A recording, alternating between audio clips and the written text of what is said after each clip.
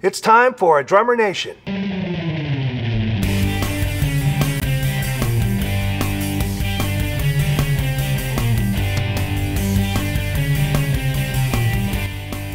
Joe LaBarbera hails from a musical family. The siblings Pat and John are also mainstays on the jazz scene. Joe was formerly educated at the Berklee College of Music, where he was noticed by Chuck Mangione and Woody Herman. The subsequent move to New York led to work with established jazz headliners Jim Hall, Phil Woods, and Gary Burton. In 1978, Joe joined the great Bill Evans Trio and remained until Evans' death. He now lives in LA where he has been teaching at Cal Arts since 1993. Sound Synergies Percussion Care lubricants and conditioners include a series of three products for total drum kit care and maintenance. Percussion Care products in your gig bag ensures your entire kit will always look and sound its best. Check out their website at soundsynergies.net. I absolutely love playing drums, and I couldn't imagine uh, not having that in my life. And I really, uh, if I could help facilitate that and have an impact on your life so that you can play drums, that means the world to me. Drummers seeking a quick and easy way to muffle bass drums on the fly, look no further. Muffbone offers an effective way to instantly dial in your sound in just a few seconds while seated at the kit. Find out more at muffbone.com. When seated at the drums, pressure on the tailbone, lower back, and hip joints can lead to pain. Only Carmichael drum thrones are scientifically designed to relieve and prevent discomforts associated with prolonged sitting. Carmichael thrones, we got your back. Graded specifically for practice sessions, quiet tone practice cymbals by Sabian are designed to respond and feel like traditional cymbals, right down to their clearly defined bell, so the drummers won't have to change the way they play. Quiet tone practice cymbals by Sabian.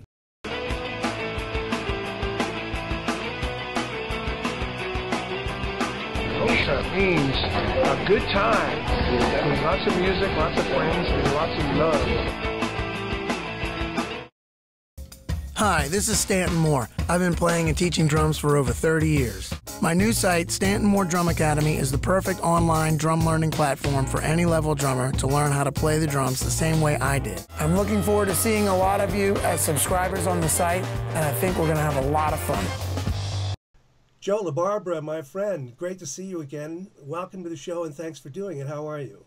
I'm fine, Michael. Pleasure to be here. Well, I've always been a big fan of your playing. The first time I heard you play was in the early 70s, oddly enough, with Chuck Mangione. And you sounded great on that band. I love that band, Michael. I mean, that was that was for me, you know, in the early 70s there weren't a lot of opportunities for for for me to get out and play in a small group. There were plenty of big bands to go and play with, but for a lot of the young guys, there weren't a lot of small bands. And Chuck I'd been a fan of since I was you know, in in high school, and saw all his great bebop bands, and then he started to move slowly into a more fusion um, element, and I was happy to be a part of that music with great musicians all the way. Oh, it's a great band. It's a great band. But let's back up. You're from a musical family. I know you have two brothers who are musicians, uh, Pat and John. Yes. Tell me about them. Where do you stand in the in the age order there? I'm the youngest of the three. You know, my father um, was a musician by avocation. He always had a, a, a, day job to you know put food on the table, but he worked he worked a lot of musical jobs. Even before he was married, he had bands, park bands, dance bands, you name it. Uh, we were we were born into a home full of instruments and music, and we were exposed to a wide variety of music, everything from um, you know traditional uh, Italian folk music to Duke Ellington and Fletcher Henderson and Glenn Miller and so on. So uh, we grew up playing all of that.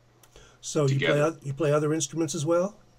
My father started me out on the drums when I was five, I believe, maybe six, and then a couple of years later, when my embouchure developed, he started me on clarinet and saxophone, which I actually played through high school uh, in the in the marching band and in the in, in the stage band. They called it dance band, whatever, um, and uh, and then left left that aside and went on to college for drums, Berklee College. And and uh, who were your early influences as a kid listening to drummers? In uh, well, the first drummer I, I remember hearing um, that I was aware of was probably Papa Joe Jones. Uh, Pat was bringing home some Lester Young records, and Papa Joe was on that stuff. I also remember hearing some Kenny Clarke early on, and then uh, I was fortunate enough as a, as a young kid at the age of uh, I think seven, Gene Krupa came to my hometown and played in a little club in my hometown for a week, mm. and my fa- my father brought me by there on the after- Sunday afternoon matinee and put me up on his shoulders, and uh, I got to look at Gene wailing away. I don't have much more of a, of a image or a memory of that event, but I do remember the drums were making a big impact on me at that time. Uh, of all the legends I've seen, I never had the opportunity to see Gene. I sure wish I would have. Um, he's kind of the, one of the great fathers of us all. Um, so tell us about your brothers, for the guys who don't know. Who, what are their names and what do they play? I think what our cymbals uh, brought to the Sabian uh, family is that there is more, lots more hand hammering. They're all hand hammered, and so you really have to perfect the hammering technique and where to hammer on the cymbal. You know, you don't want to get the cymbal too thin in a lot of places. They were willing to try it, and I think we came out with, with a great product that uh, that is a great musical instrument. My brother, my oldest brother Pat, is a uh, woodwind player. He plays tenor, soprano, He plays all the woodwinds basically but tenor is his axe, tenor and soprano. And he played with Buddy Rich's band for, I think it was seven or eight years, maybe ten. I'm not, I'm not 100 percent sure, but for a long time. And then when he left Buddy, he got the call from Elvin Jones and worked with Elvin for an equal amount of time. And in fact, went back uh, quite often when Elvin was in a, in a tight spot and needed somebody to fill in. Pat was always going out to help Jones out. So uh, I, I, saw him with Elvin in the uh, '80s in Los Angeles, and he, he was just so, great. So through my brother Pat, I was exposed to and met um, two of the greatest drummers I think of all time. You know, and and got to know them both quite well over the years. Now, um, your other brother's a writer, a piano player. My middle brother John started out on the cornet. See, we had what was considered to be, I would say, a traditional like New Orleans style, uh, New Orleans style band because I played the drums. Mm-hmm. Uh, my father played the piano or the accordion, depending on the uh, the setup. Uh, Pat played the clarinet and the saxophone. John played the cornet, and eventually my mother joined us on on string bass, and we played uh, in that style. I mean, I grew up playing kind of like like Baby Dodds. My oh, father yeah, I, I mean, I started playing time on the snare drum. That's what was written on the parts. You know, you, that's what I was looking at. So that's what I was playing for mm-hmm. for a number of years, and then eventually I uh, started to transfer it over to a the hi hat, and then uh, and then to a, a little uh, ride cymbal. The parts back then, as I recall, would be like uh, every bar had four quarter notes with rolls tied one to the next. Exactly right. and uh, that that was your time source. It was really just a guide as to where the band was. Yeah. Uh, and then you would improvise. Now, uh, your brother wrote for Buddy's band, right? John wrote for all the bands. Right. He, every every band out there. He wrote. He started out with the Glenn Miller band. Wrote for that band. Then he joined Buddy's band in 1968. We all were together with Buddy's band in Las Vegas for a month. I was working with Frankie Randall, a wonderful uh, Sinatra-style singer, great musician, Juilliard mm-hmm. graduate, very capable pianist, but fine singer. And we worked a month at the Sands with Buddy's band. So that's when I got to really know Buddy because I'm playing his drums every night for Frankie's show with the band. Mm. And and and then I'm watching him and we're hanging out and uh, I got to rehearse a bunch of the charts that month. But John was hired in that month. Uh, he came in as a fourth trumpet player. Now, I've heard this story. I don't know if it's true that you know Buddy didn't read and your mm-hmm. brother was a writer. Did you often play and read the read the stuff the first few time or two for Buddy to hear it? Yeah, but not John's charts because he wasn't writing yet. Uh, that month in January of '68, he got uh, Channel One Suite mm. and B- Big Mama Cass, and I think Mercy Mercy. I can't remember exactly, but there were a few that came in that month. And the band's in a location, so Buddy calls a rehearsal, and he sees me, says, "Hey kid, you know, get up there, play the drums. Let me hear this thing." You know, so yeah, we I rehearsed the band for him, and uh, struggled my way through everything because I couldn't read very well back then myself, you know, but at least I, I had a, an idea what to do. And, and then he had like a, uh, whatever you would call a photographic memory for ears, or orographic, I guess. He, he would memorize the charts right away, and then he had it, right? And never forget them. You know, years later, he'd call a chart up that he hadn't played in years, and and he would remember everything about the music. Whereas the guys that were reading it were, you know, doing their best, and they were all top flight players. But yeah, he just had an uncanny ability to to process music, and I think Roy Haynes has the same uh, ability because he doesn't read music either. I'm told, and he learns it by by ear, but then he's got it. Yeah, one of the many many ways Buddy is was so amazing. mm-hmm, mm-hmm. One of the many ways. Now you went to Berklee School of Music. Mm-hmm. Study with Alan Dawson, John Laporta, Phil Wilson. I didn't actually have classes with Herb Pomeroy, but he was a huge inspiration. Uh, just you know, he's one of those guys you just wanted to play well for. Charlie Mariano, I had for for an ensemble. Uh, who am I forgetting? Jimmy Mosher, I had for an ensemble. Top flight faculty. Just oh, Fred Buda, Freddie Buda. Always was, still is a great faculty. Yes. Now, yeah, did yeah. you did you finish with a degree there? No, I did not. I ended up leaving and going out on the road. And uh, who'd you go out with? I went out with Frankie. Frankie. Oh, all right, all right. And then eventually did Woody's band, right? Yes, uh, got drafted um, about a year after Berklee. Did a couple of years for Uncle Sam, and then uh, when I came out of the army, I was working with uh, Gap Mangione Chuck's older brother in a trio in Rochester, and I got the call from Woody's band and went out with them. Now, had your reading improved considerably by then? Because that's a that's a reading gig. Well, it isn't. ironically, you know, Jeff Hamilton and I always always love to talk about this because we we we knew that book by heart before we even showed up, right? Mm-hmm. You you do the homework. I knew all of you know all of the arrangements. Let's stop right there. Most kids need to hear that twice. You do the homework before you show up, so oh, you yeah. know I mean, the music. Yes. There's there's a famous story with Wayne Shorter's first night with Miles Davis was at the Hollywood Bowl, and um, Miles says in the dressing room, "You know my music?" He said, "Yeah." He said, "I hope so." and they walked out playing "Walking," I think. But but for kids watching, take note of that, man. You, you don't you learn the book before you show up. Yeah, this is a little something that uh, Jeff that stresses, and I I agree with this when you take a student on and you say, well, you know, who do you want to play with, and the kid will say, you know, Cyrus Chestnut, you know, for example, and so Jeff will say, well, do you know the music? And the kid will say, no. Well, you better start learning it because that's how it works, you know. When I went into Bill Evans' audition, even though I hadn't heard his trio in a number of years, I grew up listening to that trio, and so mm-hmm. I knew all of the early arrangements, which he was still doing and then intuitively I was able to follow him because I was tuned into that group. So it is important. Yeah, not only the band, but the whole style, the whole idiom, their peers, their contemporaries. You have to do your homework. You do, and eventually Woody told me later on, you know, when we talked about it, because I could read, you know, and I had to read, but uh, he said, you know, I don't care if my drummers can read. He said, I, I know they're going to learn the book. What right. I need them to do is get a feel for the band and, and keep the band together and make it swing. Well, that goes to the uh, gig number one for any drummer on any band in any style is to make the band sound good, right? Yes. And if you put listening ahead of everything else, it should work out if you do your homework. That's where the homework comes in. Hey, everybody out there in cyber world. This is Adam Nussbaum. Hi, Dave DiCenso here. Hi, Bermuda Schwartz here. Hey everyone, Stanton Moore here. Hey guys, John Tempesta here. Hey everybody, this is John J.R. Robinson.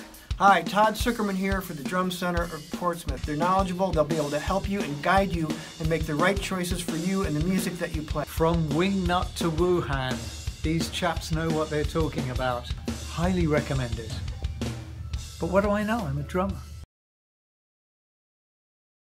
all of us guys uh, got together at PASIC about I don't know 15 years ago. I was there. And, oh yeah, for the for the Wood, drummers of Woody Herman. So we're all saying, you know, Jake, we learned all we learned all the charts by listening to you, and his reply was, "Oh, so you know my fill." You know, like he's, like, he's, like he's only got one. He's only got one. Yeah, yeah. yeah. I miss Jake. He was he was a gem. Oh my god. Funny as hell. There's so many characters that we don't have around anymore, like Jake, like Freddie Gruber, like uh, Jim Chapin, yeah. Lenny DiMuzio. You know, Lenny, oh my God, these yeah. guys were characters, man. And, Truly. Uh, we sure do miss them. We sure do miss Yeah, them. yeah. Um, so, what did you learn from Woody's band? What was the key thing you learned when you got? You show up to the band. They don't know who you are. You got to you got to impress. You got to cover the gig. What what lessons came to mind? Well, I actually learned how to, you know, play. I played in a, in big band ensembles at Berklee, but you don't really grow. At least I didn't grow with a band until I was working with it every night. Mhm. Now you're you're you're picking up all the little nuances. Uh, you're understanding that the the saxes are going to lay back on the time, especially in that band, because Woody's lead style, lead alto style, was patterned after Johnny Hodges, so they they're pulling back on the time a little bit. The trumpets are on the on the on the edge; they're pushing it ahead a little bit. You learn these things, and you learn how to how to put that beat directly in the center so that it helps everybody. That's that was one thing in terms of a practical nature with the band, you know. Also, you learn very quickly what you need in terms of gear, because I showed up with my little 18. No, I, no actually, I had a 20 inch uh, bass drum, which probably was adequate, Mhm. but uh, you know, I just didn't have enough. I needed a, a couple of crash cymbals. I needed more more uh, options for for uh, for sound with that band, and then it was it that was another lesson. But the main thing I learned from Woody was patience, because for sure he had to be patient with all of us young upstarts who thought we knew everything. Right. And and I also learned how to pace a set of music, how to how to program what follows what, you know, how to make the evening enjoyable for the audience and for the players. You also had to handle some serious tempos. Just Caldonia alone. Uh, Yeah. For those who don't don't know, um, Caldonia was kind of a novelty tune, but Woody had a great arrangement of it, faster than living hell, and it featured everybody in the band. So you were back there comping for every soloist, and then there's a drum solo. Yeah. So uh, how did you? Um, do you have any tips for playing those kind of tempos? Some guys like maybe think of it in halftime or. No, actually, honestly, Michael, I, I learned by playing along with all the records. You know, I, I would have a Saturday morning regimen of all my fast tempo stuff. You know, Miles Walking from uh, Miles in Europe, Woody Caldonia or Apple Honey. You know, Dizzy Gillespie with Stan Getz and Max Roach playing It Don't Mean a Thing. There's a whole a whole, and they're they're not only fast, they're long tracks Right. and so I had to I had to just work it out, just physically train myself to be able to deal with it, stay relaxed, and and to be able to hang. And you know, I think by the time by the time I was out of high school, I actually could play fast tempos pretty easily without too much sweat. But uh, you know, of course. it's one thing to play along with a record player, and another thing to play along with the 16 guys that all have, you know, they've all got their own ideas about where the time's supposed to Yeah. be. So, and you're you're, you're driving you're driving the bus too. Yeah, man. Yeah. You get the credit and the blame. Um, when did you move to New York? After Woody's band? Oh, Well, and after Woody's band, and, and I got the call from Chuck, actually while I was with Woody, so I left Woody to go with Chuck. Uh, and then uh, during my last year with Chuck, I decided to uh, move to New York City, and that's when I left Chuck and just st- went into New York and and started to you know see if, if it would work for me. Well, it certainly did. I have you uh, New York years working with Phil Woods, Art Farmer, Art Pepper, Gary Burton, all kinds of great jazz artists. I get that. That's what that was another education in itself, I presume. First year in New Totally. York. Yeah. What what what what do you remember from learning from that? Let's say your first year in the city. You know, you get there and the energy is overwhelming, but you get swept up in it and you start to go around and hear people, and you're hearing the best players there are, you know. So now you're figuring out where you stand amongst all of these players. And there are great players that you don't even know yet, you haven't even heard of, and there they Mhm. are, you know. So you, you start to you got to work, man. I mean, it's it's it's either going to uh, give you an incentive to grow, or it's going to scare the hell out of you, and you're going to leave town. So fortunately, I decided to stick it out, and uh, my good friend Bill Goodwin came through with uh, a job for me. He had to sub out with Jim Hall and Michael Moore for a week at Sweet Basil, which exposed me to basically everybody in town because they were all coming by to hear Jim. And and as a consequence, they heard me, and a lot of them liked what they heard, and I started getting calls for work.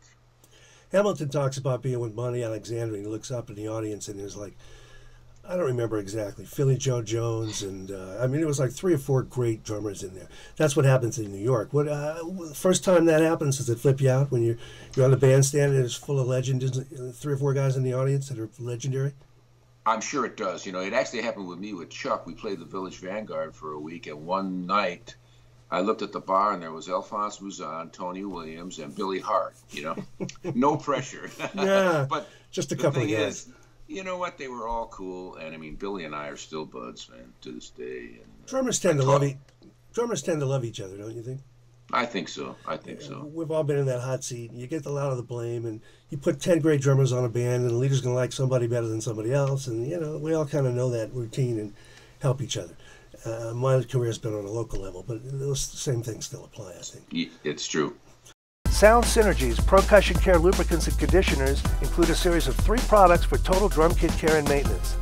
Pedal Lube, the only product specifically designed for bass drum, hi-hat pedals, and triggers, as well as all moving metal parts and drum hardware, safely removes grit, grime, and other contaminants while protecting against harmful friction wear. Cymbal Care restores and conditions cymbal surfaces without strippers or harmful polishes. Wear Barrier is a conditioning formula for all drum heads, rims, and even sticks. Procussion Care products in your gig bag ensures your entire kit will always look and sound its best. Now, your work with Bill Evans is very notable. Bill is noted to have three great trios in his life. The first being with uh, Paul Motian and Scott LaFaro, right, in the 60s. In the 70s, it would have been with um, um, um, um Eddie Gomez Marty and, and, Marty Morell. And, Marty. Yeah. and then you and Marc Johnson in the 80s. Those are pretty serious shoes to fill, just like with Woody's band. Um, and that's quite a different thing playing. I mean, Bill Evans was the ultimate in sophistication and style and nuance and and and understated beauty. That's quite a different thing than driving a big band.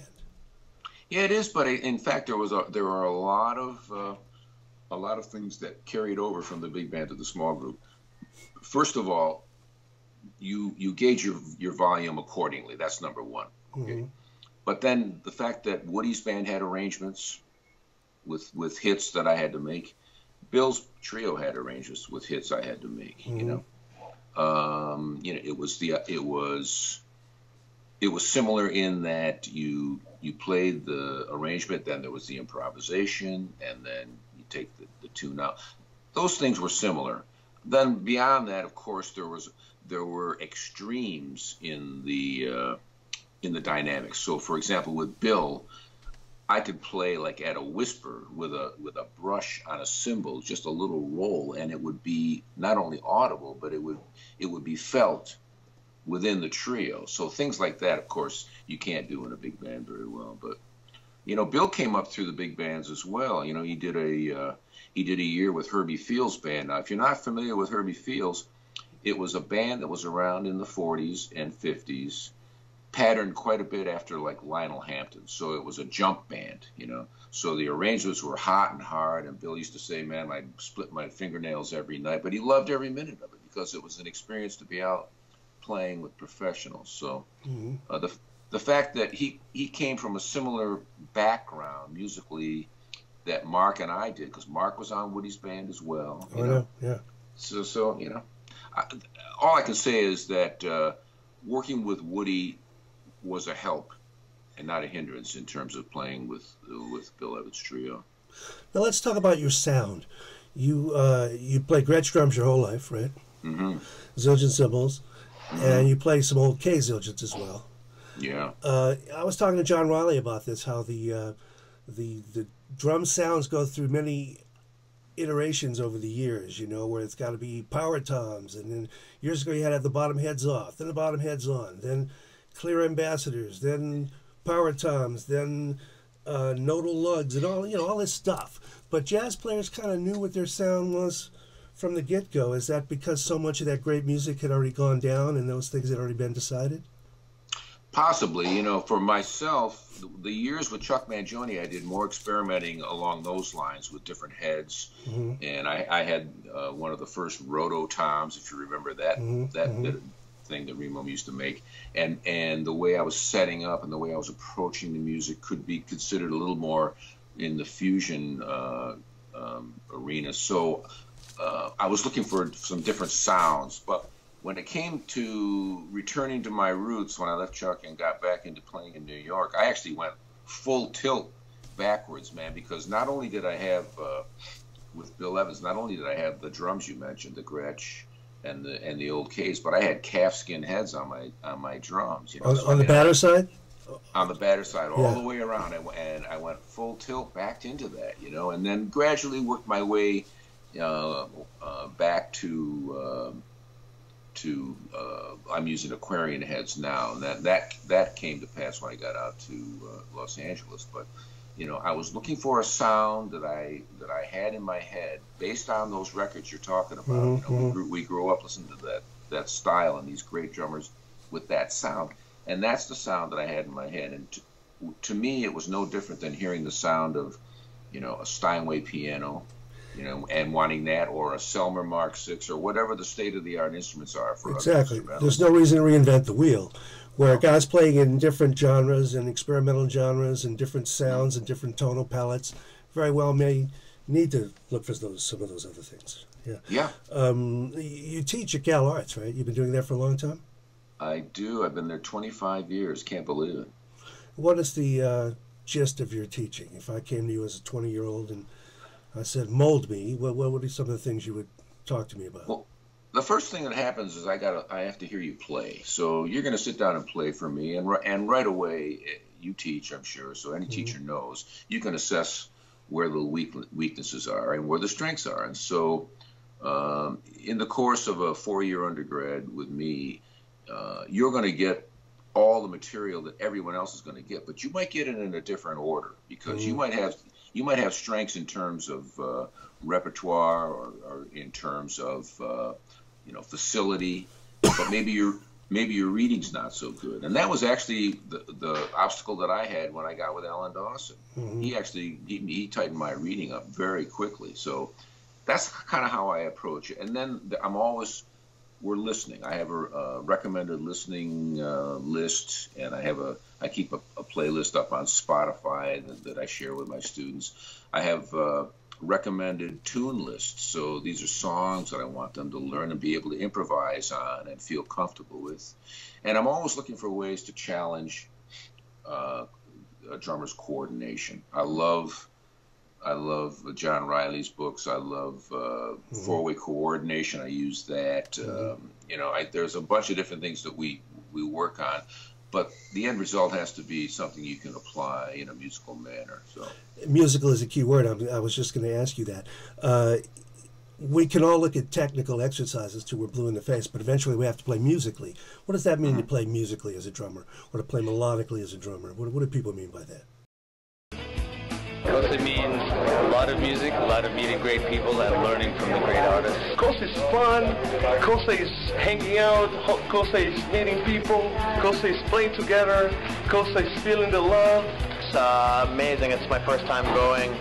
I've uh, just learned so much already. One of the uh, craziest, like most wide open experiences I've ever had. I'm learning a lot. I'm already planning to come back.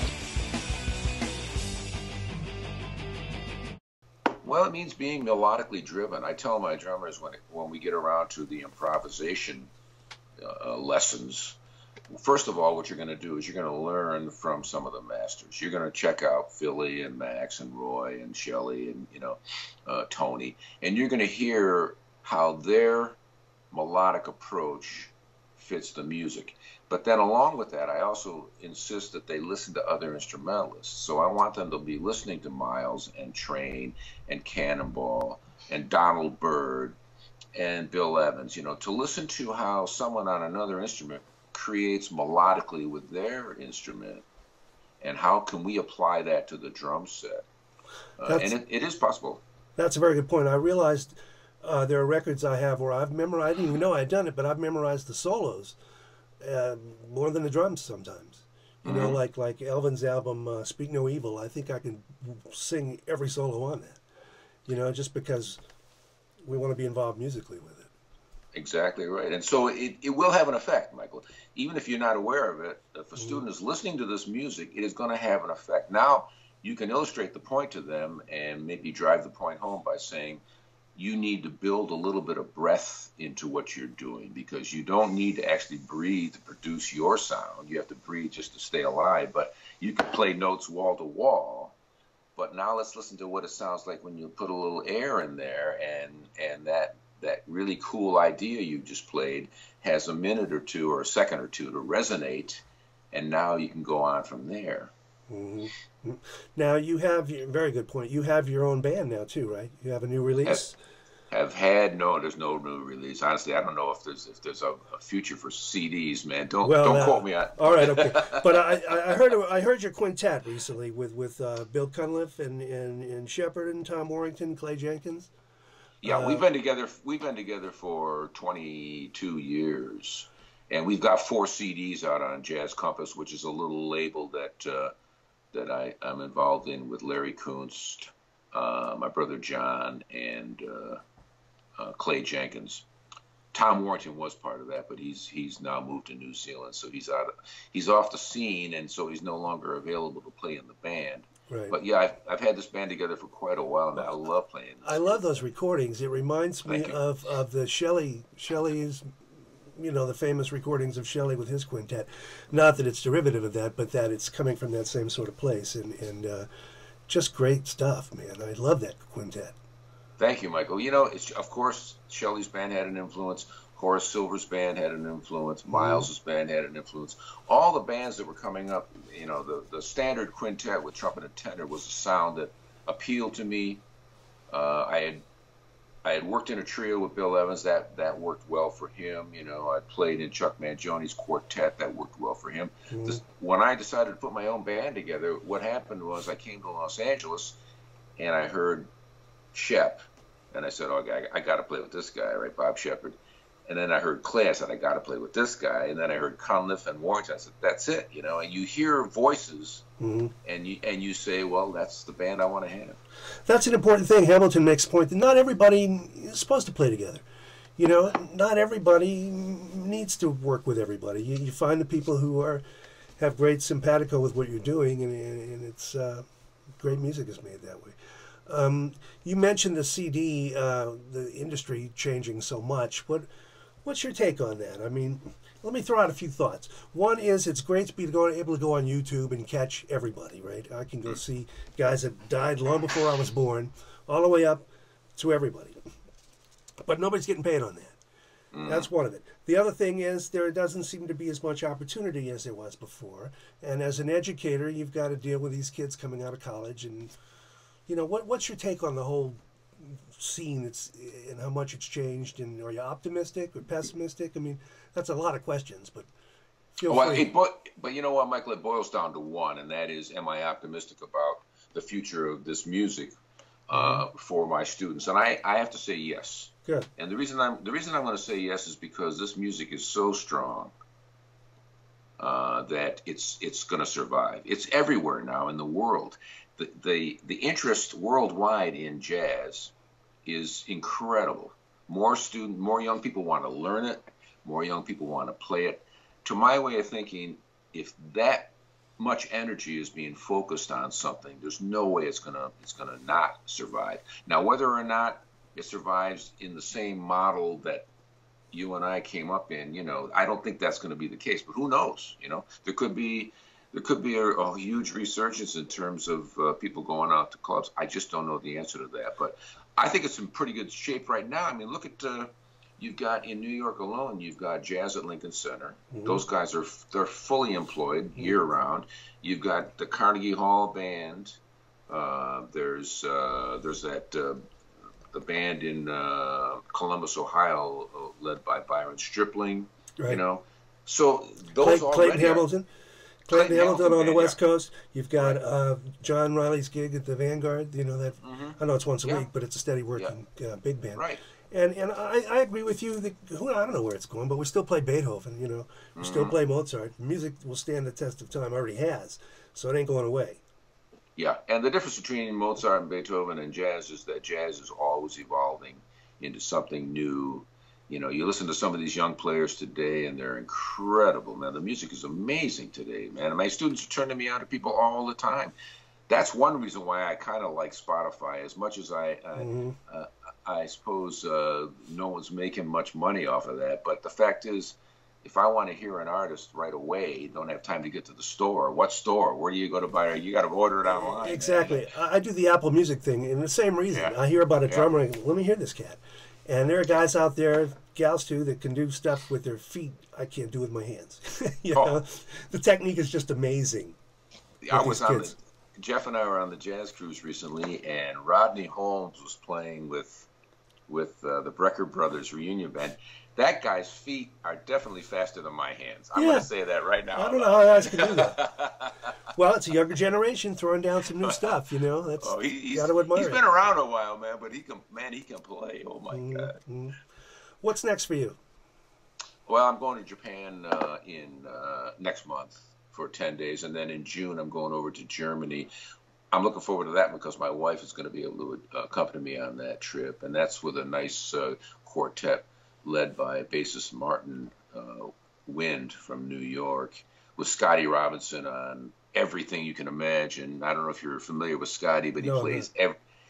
When I say he plays every instrument, I mean he plays every instrument. The only limitations for this guy is what can I get on board the airplane, right?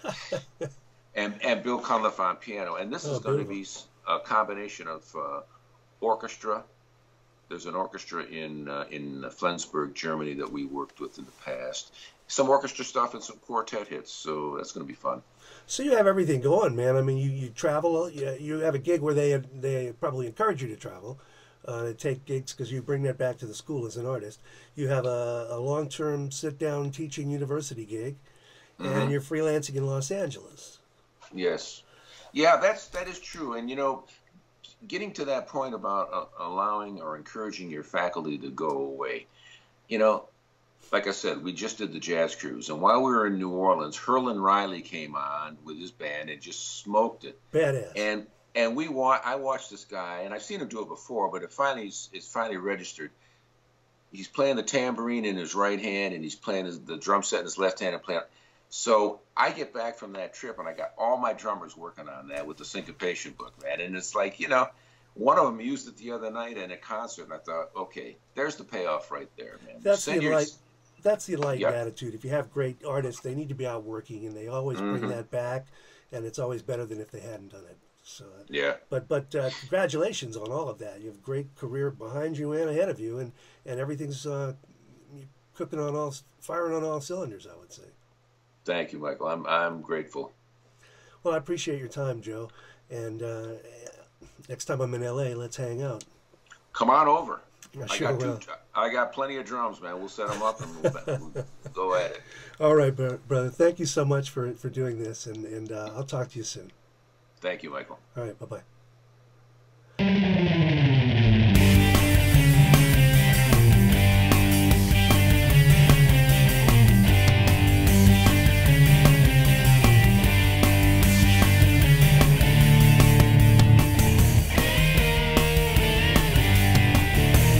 This is your host, Michael Vossbein, and I'd like to thank our friends at Sabian Cymbals, Sound Synergies,